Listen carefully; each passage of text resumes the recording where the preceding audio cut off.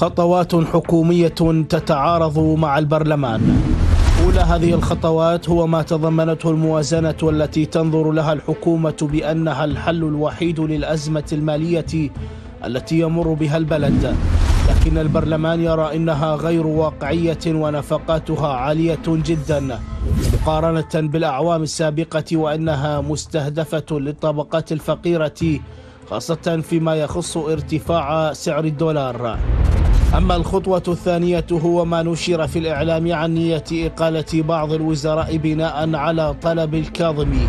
حسب ما أعلن عنه عضو التحالف الفتح فاضل الفتلاوي وأن أبرز الوزراء المشمولين بالتغيير الوزاري هم كل من وزير المالية علي علاوي ووزير الكهرباء ماجد حنتوش ووزير النقل ناصر الشبلي ووزير الصناعة منهى العزيز ووزير التجارة علاء الجبغري. أما الخطوة الثالثة هي إلزام الموظفين تحديث بطاقتهم البيومترية وإمهالهم ستين يوما لتحديثها واعتبارها مستمسكا رسميا. فهل هذا هو نسف للعملية الديمقراطية من خلال مصادرة حرية المواطنين في اختيار المشاركة في الانتخابات من عدمها؟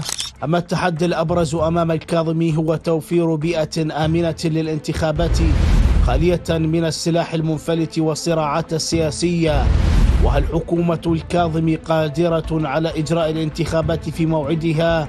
أم إنها ذاهبة إلى تأجيل حسب ما صرح به بعض المسؤولين؟